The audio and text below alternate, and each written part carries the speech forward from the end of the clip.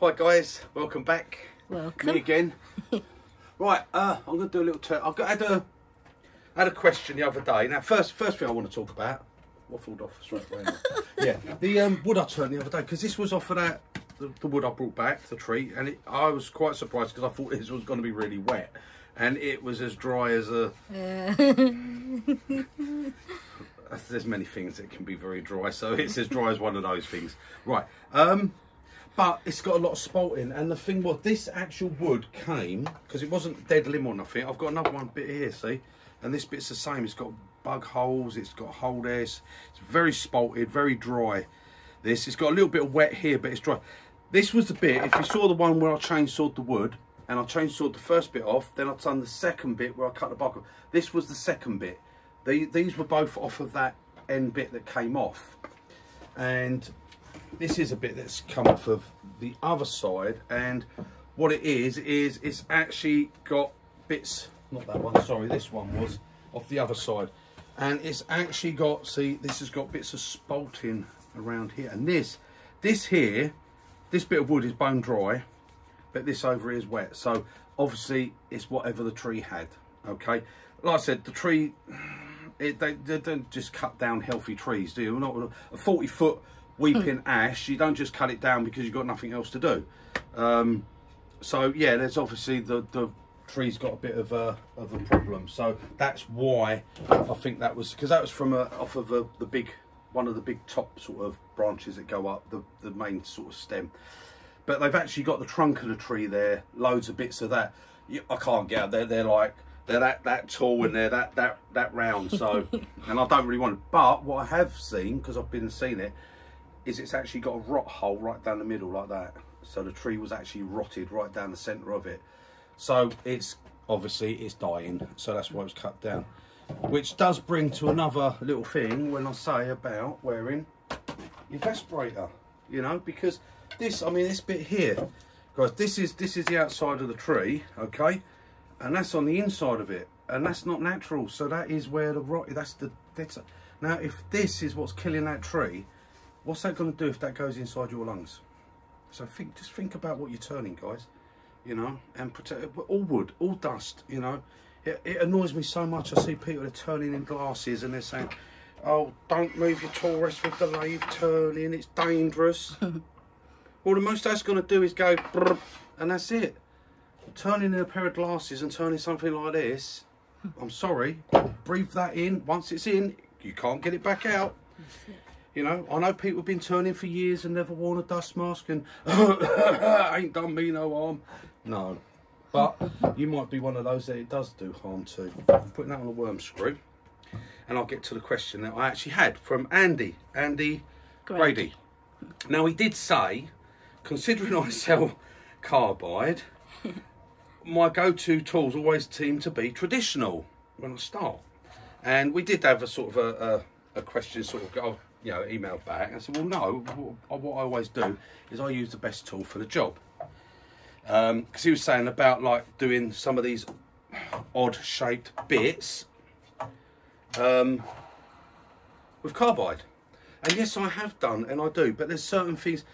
Now, for me, if ever I'm going to do the outside of a bowl, like this, or the outside of this, it's spindle gouge or bowl gouge. No better tool for it. And that's for me. I will use the best tool. If you haven't got those, you can't sharpen them, you can't buy them, you can't do whatever, whatever reason. The reason's not important. It's no, nothing. And you use carbide, then yes, you can do it with carbide. I'm going to use a bit of carbide on this one today, but you can see how this is very out of balance. I've got this big lump uh, over this side, and like I said, that's quite a bad. That's not going to turn so fast. I always say carbide's better with speed, so this isn't going to be the best to turn with carbide, but you can do it if you've got nothing else. That's that's all it comes down to. But always best tool for the job. But nine out of ten times, if I'm hollowing, I will use carbide to, to hollow because it's better for it. I, I personally think it does. It's a better job. It's an easier thing to use. It removes the wood nice and quick. See again, the same with this. Now, if I'm using carbide, I will not come in here on the front because that to me, that is exactly the same as using a roughing gouge, okay? I would not use, Right, I'm going to crank that in a little bit. So everything's now nice and secure between centres. Got worm screw going in, uh, and I've got my point centre going in that way. And I've got my tool rest across the bottom here. So I'm just not touching. And I, my first cuts are going to be this way. Because like I said, if I go this way, I'll get to here and the chances are that's going to want to chunk straight off. Okay. And that's why we don't use a roughing gouge for it. So but I'm going to, and all I'm going to use on this is, is quite a big chunk. So I reckon I'm going to use the, my 15 mil. Now you can use the 14 mil, there's nothing wrong with using a 14 mil. I'm going to use the 15 mil square, not to take bigger cuts, but it's just, it's got a stronger bar. Okay, and I'm just going to come in here and take some gentle cuts off of this until I can get this round really. Yes, I could have put it on the bandsaw and cut it to round, but then where's the fun? right, okay, I've got my mask on. Always put your dust mask on. Right, lathe speed's turned down.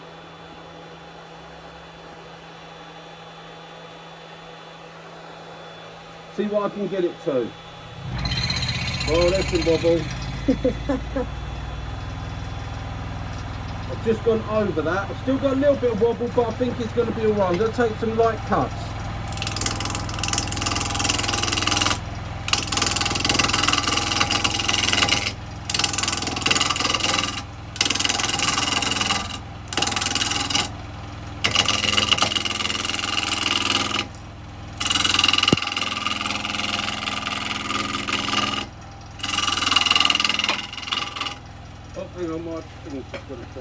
There you go, get it back on.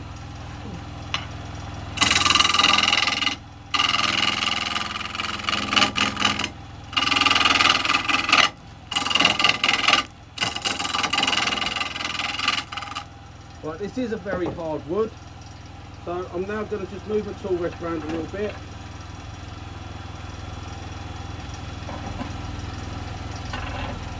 There we go.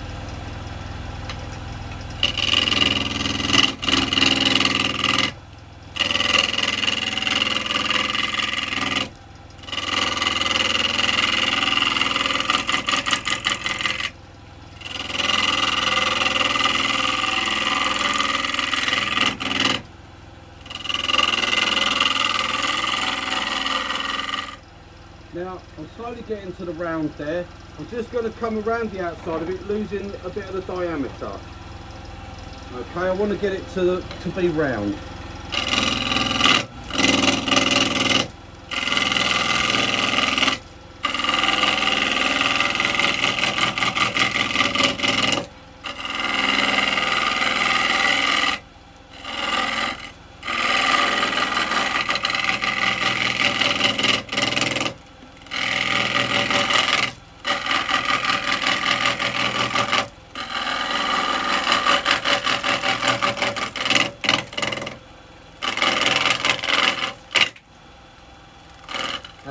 Just on that edge bit, it's banging because it's all bits and pieces there. I'm going to bring the tool rest round.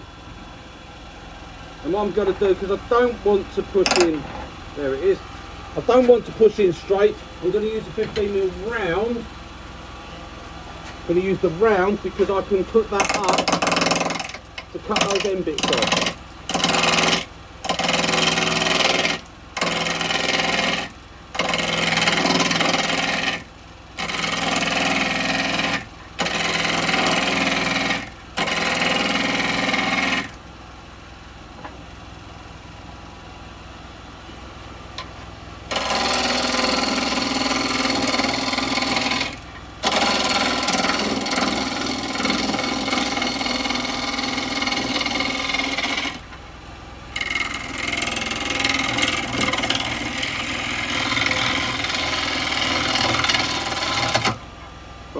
and have a little look. See where we are. Yeah, we've still got this big flat bit here, see? But I've got... The reason I didn't come over this way is because I want to really get rid of this because this is all that... It's got a nice bit of colour, but there's a lot of rot on that, that edge. Okay? But as I said, we can come in with our carbide, see? But I want to come up a bit more on here, so I'm going to do it... Again, I'm doing it with the square just get that more on the centre.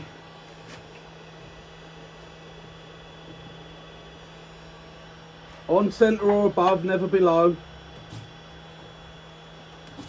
No still got that bark. That's it that's going to go there. So I can take a few cuts on this and get rid of that bit of bark. But this is another reason because I'm going this way I'll, I'll get a bit restricted by this. And I want to keep that in place at the moment because until I get this level, I'm not going to trust just on a worm screw. Now, if I was going to work on the side, I would use a round, I wouldn't use a square, okay? And I would not use it flat because like I say, when it comes here, that it wants to chunk that piece off and I don't want that to happen. You see as you come around, it gets bouncing. Now, I am only first turning this. I'm not going to finish this today because it is wet. Look, I've got actual wet shavings now. And although I'm only doing a scrape, look, I'm still getting shavings. Right, okay. Let me, uh, I'll just check this is still, yeah, that's still tight. Everything's all good. Start up. We've still got a little bit of wobble, but it's going. And I'll know when it all comes in balance because all the wobble will stop and then I can get the speed up.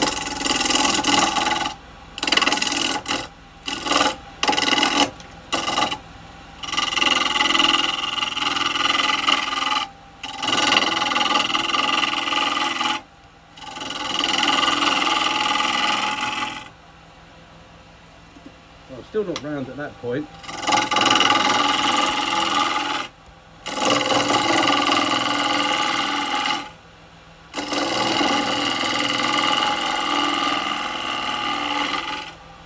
And yes, you could use the R2 for this.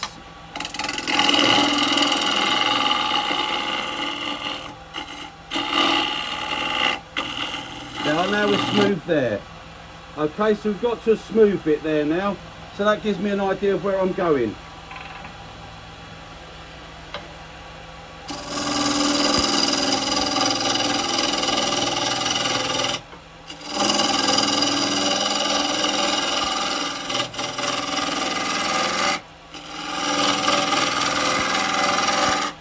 And again, you've got to be careful, you're just using the, the edge. If you do have a... And I am just pushing in flat because I've got so many off that's why I wouldn't normally use a carbide see. One it's not fast enough. I'm only at I'm at 12.35 at the moment. I'll see if I can go a little bit. Oh there, oh, there look. I've just gone to 15 and the lathe's gone completely flat okay? No vibration so now we're doing better. And and we will straight away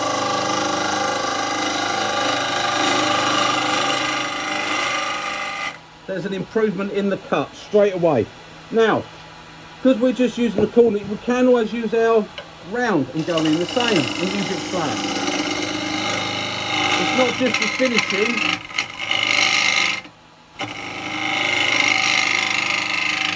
But for the, the round, I prefer to use the round when I come onto the side of it, which I'm going to have to start doing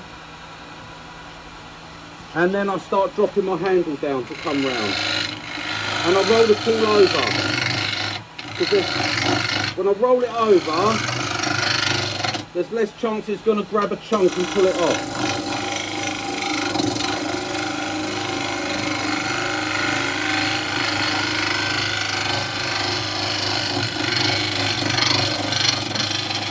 So you can still see there's a look, there's a lot of bounce in it. It's not round yet. This bit's getting round. I've still got this bit on this end.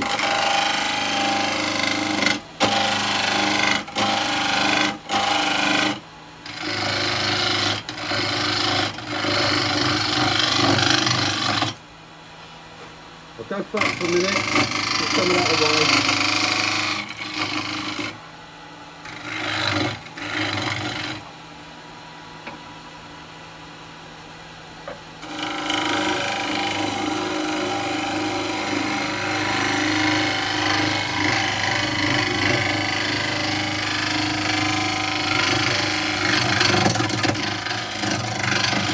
that hard bit on the end, see? So go this way.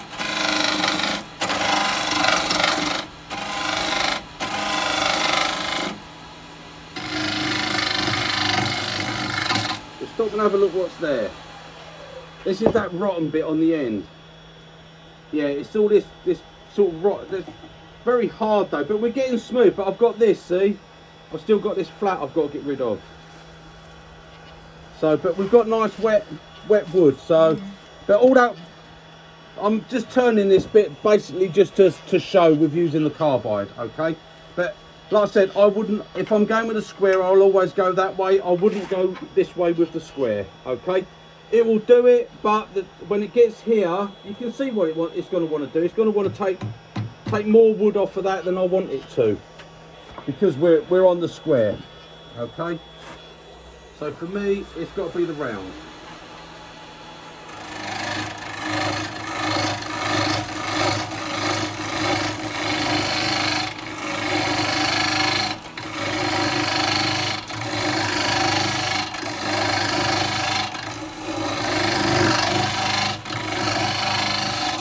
still going to get the bounce there until I get get rid of that bit. You can turn the speed up a bit more now because everything's perfectly round and all nice. And now we're starting to get better cut, see?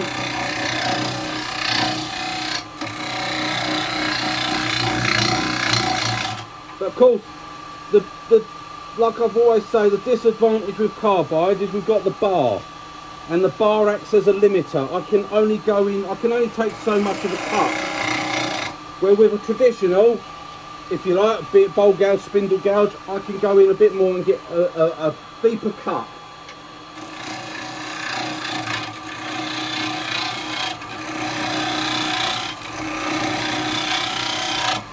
This would not be my choice, see, to do the outside.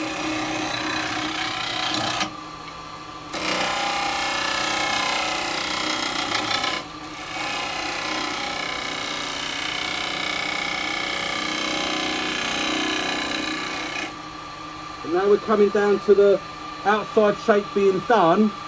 So now I want to look at getting a, a nice a nice finish cut to it.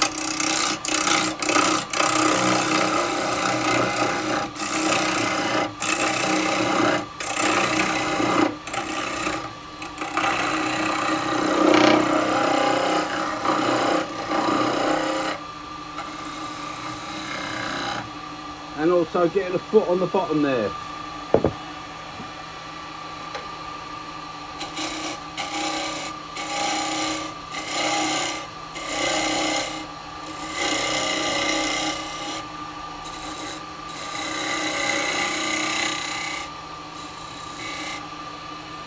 There, that's my foot. That means I can get hold of that.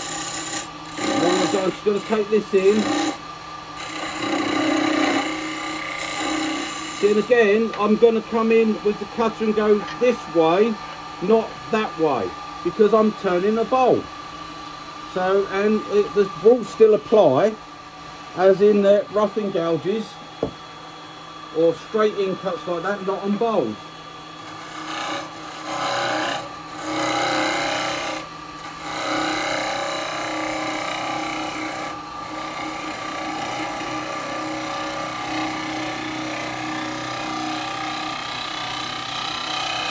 It's going to be more like a pudding basin. I don't mind. Sorry? I don't mind. A nice sticky toffee one.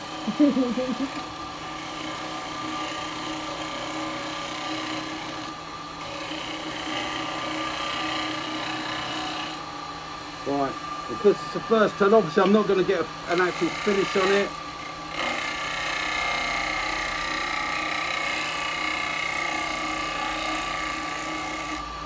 Want it to be fairly smooth if I can.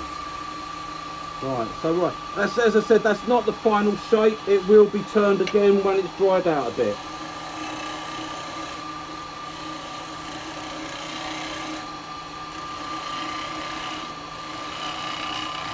There we go. Look, all the crap that sticks on me.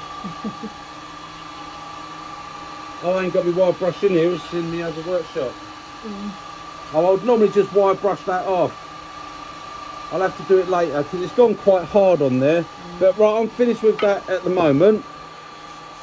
I'm going to um, just clean this up. I want to put a cleaner finish on the outside of it.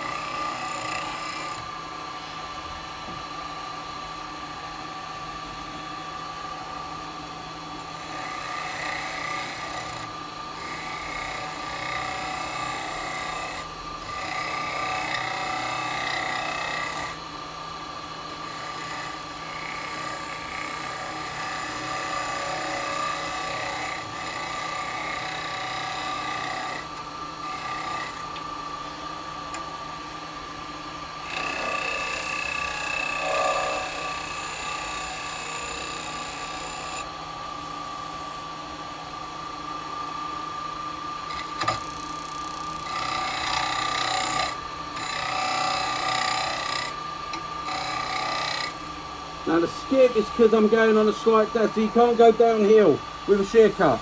You can only go uphill. Otherwise it'll skip back on you. You can't go downhill. Right, okay, let's stop that and have a look at what we've got. Like I say, I'm not finishing it. Right, we've got a nice finish there, look. Now that's straight off of the carbide tools on wet wood. Liza might come in and you mm-hmm. see that. Okay, so that's the finish we've got off of wet wood with carbide tools. Okay, beautiful finish. I'm not going to sand it because I said it's wet. It's got. It's going to have to be left to. This is just the first turn. So what I'm going to do, I'm going to take that out of the way.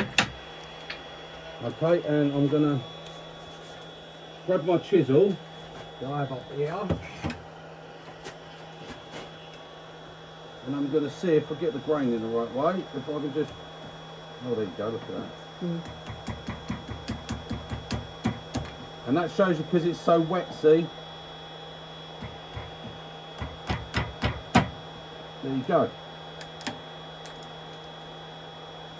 I'll get that knobble off and then I've got a tenon to get hold of just to take a bit of the middle out. Like I say, it's a rough turn, it's just to get it get it down a bit. I can put these tools away.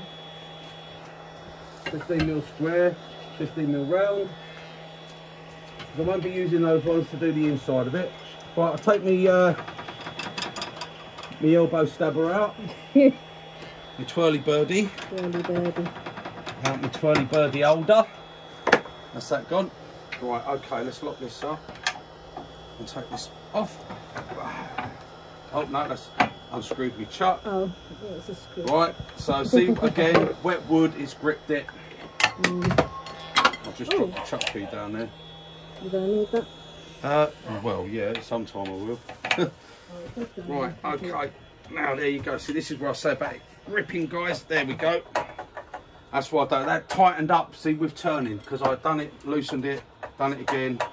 Oh, thank you, darling. You picked something up without falling over, Well, baby. uh, Well I, didn't, I didn't knock the camera over either, so Have you been diluting the drink this morning, have you? have you been having a bit of something in with it, have you? bit of tonic. a bit of tonic eh? with your gin.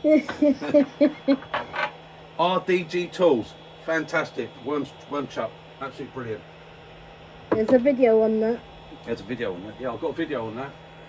Don't know why I'm pointing up there because it's not up there. right, okay, so I've got my tenon.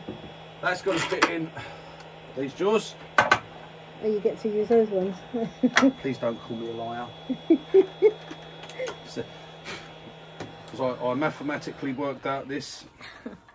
Now again, I've done it. It's not perfect circle. I do not want a perfect circle at all. I want those eight little edges of the circle, the, the part of the jaw, this bit.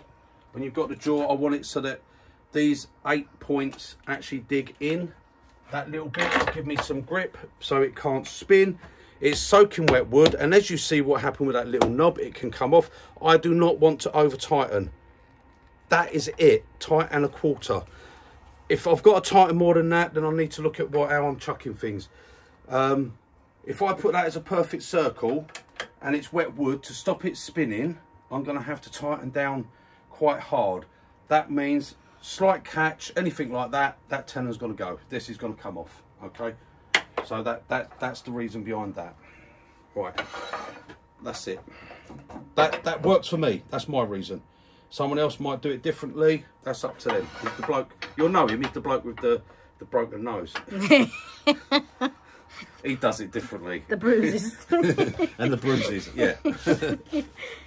right. Okay, guys. Now I'm going to um, just get a bit of this hollowed out. I just want to reduce the centre, and then this is going to be bunged in the bag with the shavings, and it's just going to be left to dry, and I'll turn it a later date. Yeah. It's just the first turning. All that, all the rest of the wood is all all done. It's all sealed up, and it's being left. So that's going to be a while before I turn most of that. A couple of bits I will wet turn, but most of it will be left. Right. Okay. I'm going to start on this. I'm going to use uh, a. But I just want to remove it as bulk at first. I'm going to use the 12 mil from the standard Type 3 chisel set. Okay. So I'm going to turn the speed down because I've just remounted it. Everything's running through. So I'm going to turn the speed up. Like I say, 1000 RPM, no good if you're using carbide, I'm afraid. We've got to go up with the speed. Right, so we're back up to 1800 I am here. I'm just going to go flat at the moment, see what's happening with the wood.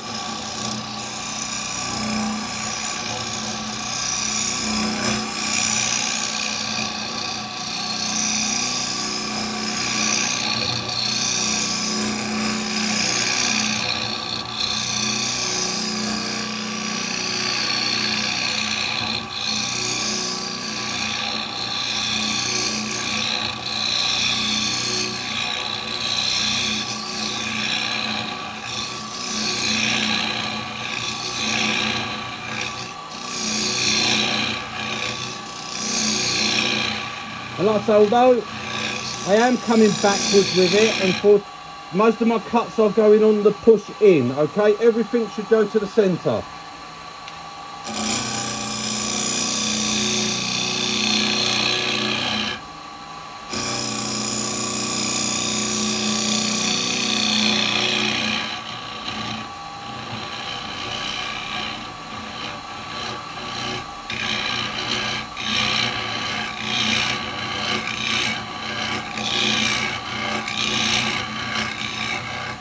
And then what I'm going to do, just to make to take some speed, I'm going to use a square.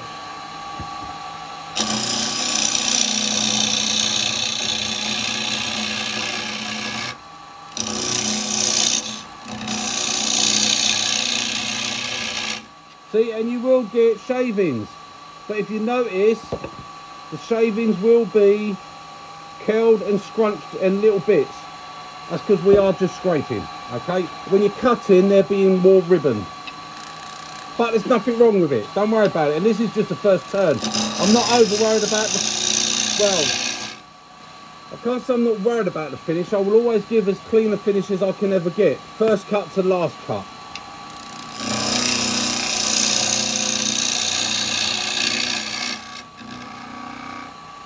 Put you in good practice. Now if you're coming into the centre with the square, come in at the side. You don't want to come in flat because it will it will grab on you.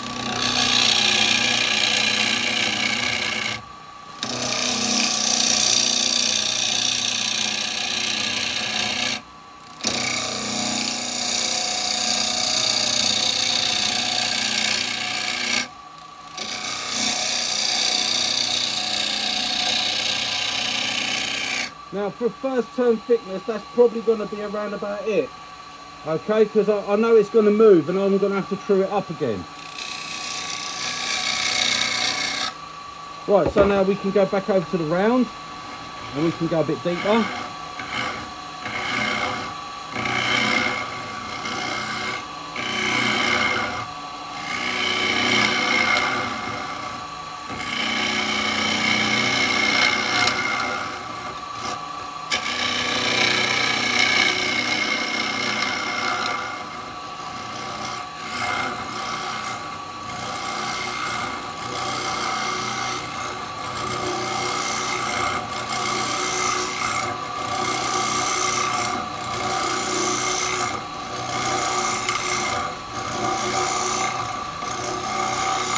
Doing there is basically making a hole so that I can go in with the uh, the square.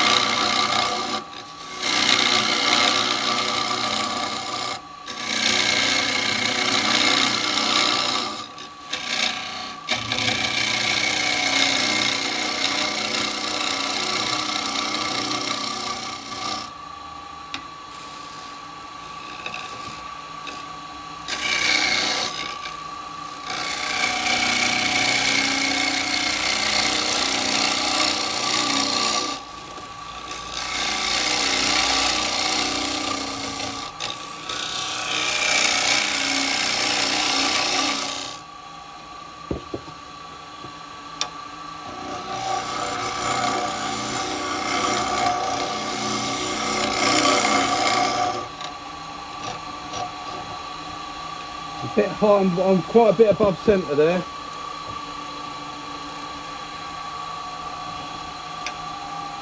There we go.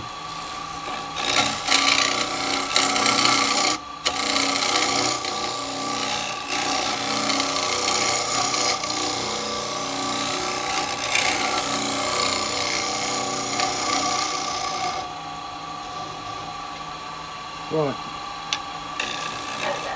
We'll have a little look. Right, okay, now we've got a bit of a chart. I'm going to go a little bit thinner on the bottom because obviously I want the, the, the thickness the same all the way round. And at the moment I've probably got quarter of an inch or more thicker on the bottom. But we've got a lovely finish in there. So that's that's good. Okay, and I've got a true at the front of it. So still just using the round, it's got to go a bit deeper on the bottom.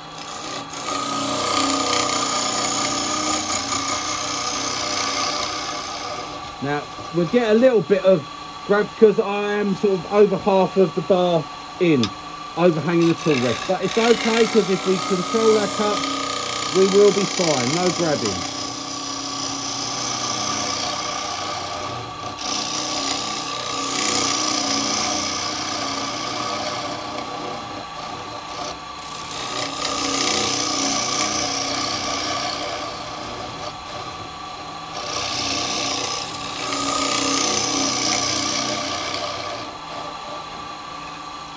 Right, I think I'm only thinking I'm only thinking, but I'm thinking that's probably deep enough.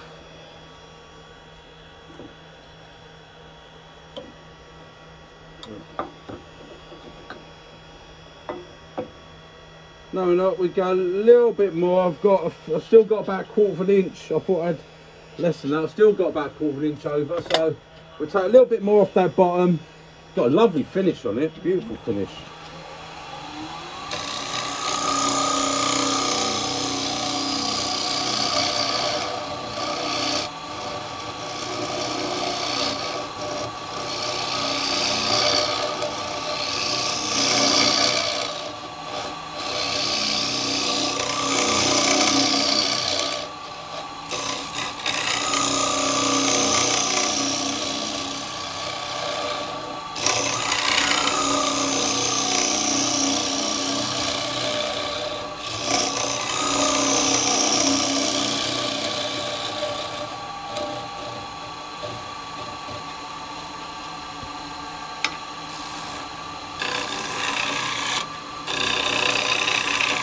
clear all that out.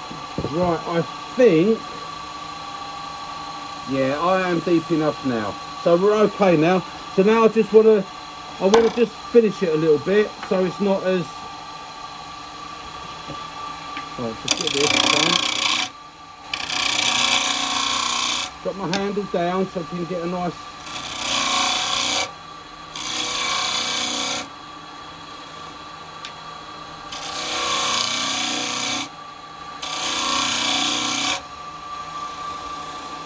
Yeah, fairly smooth. Right, now I just want to come, I'm going to just come on that bottom.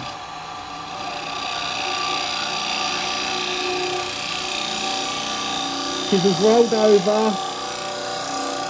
Handles down, right, down, right, down, right, down, right, down, right, down. Keep it going, keep it going, keep it going, keep it going, keep it going.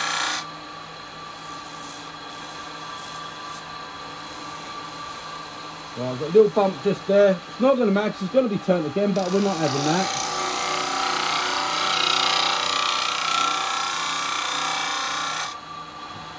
Right, there we go. That has just left us with a lovely clean finish, and that's our first turn bowl. right, there we go, guys. So, first turn bowl with uh, with carbide. So let's pop that off for there. See, and all we've done now if you look, you can see exactly where I was holding that. Okay, see the eight little marks? The eight little holes? Right, that's what gave me the grip on that with no over tightening. And we used carbide and was pushing in. no fear of that. I've got no fear of it coming off. I trust that 100%. Right, we've got even thickness now all the way around that. That can now be left to, to dry. I wouldn't be able to sand that and put for you. can see where it's going pink. Okay, that's where I've taken the bark off. Now it's going to get a bit suntan. No, that's um, that's where it's it's it's wet and it's going a bit pink. So there we go. But look, that's the important bit. Guy, look, we've got a lovely finish on the inside as well because I've just done that cut to get a finish because that's a finished cut on the inside of the bowl with the carbide although we're going to first turn this it's going to need all turning again still leave it as best as you can it's just nice so there we go first turn with carbide so Andy yes you can do it but why I mean mostly I would normally hollow out with carbide anyway I, I prefer it I like hollowing with carbide I find it fun I enjoy it um, sometimes I do it with a bowl because when I come down here to turn I do what I enjoy. I'm here to enjoy. I don't want to come down and go, well, I didn't enjoy that. come down to enjoy it. Sometimes I do like to use a bowl gouge and a spindle gouge. I like to use all the tools, everything. But normally, like as I showed there, I would not use carbide on the outside. That would not be my, I wouldn't recommend that to everyone. Whether I sell them or not, I would not say that that's the best method to rough the outside of a bowl. No. Spindle gouge would be my first choice if I can use it. If the spindle gouge isn't strong enough, and not as in strong enough as in thickness of steel strong as in not giving me the vibration if I need to over sometimes because of the shape you've got to overhang that a little bit more um, and I might get a bit more vibration. That's all it is. The spindle gouge is strong enough no doubts about that whatsoever. I mean I've just cut all that with look two mil of carbide because don't forget that might have a, a well I used the 15 mil so might have a 12 mil bar still only got two mil thickness of cutter okay? If anything's going to snap that's going to go long before a spindle gouge will go. It didn't break. So there you go. Shows you what what what's what done it but speed is important so but yeah for me if someone said to me right i've got to rough down a load of bowls what's the best way spindle gouge or bowl gouge on the outside okay that would be my choice um, if you haven't got them then you can use a carbide, no problem. Just done it and you've seen beautiful finish as well. Look, that's a first turn with carbide, okay?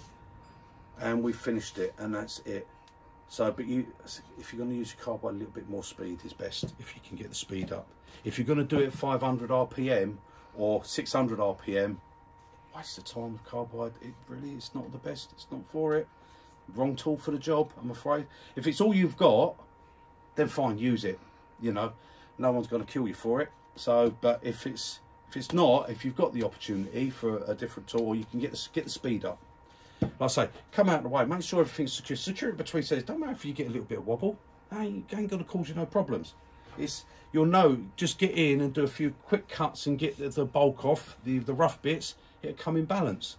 You need that little bit of speed, but if you're going to use a bit of speed, you've got to make sure you've mounted your bowl properly as you do. See, you see what I did? I've got a worm screw in there and I've got my centre right up here. I know that cannot come off of there. It won't come off.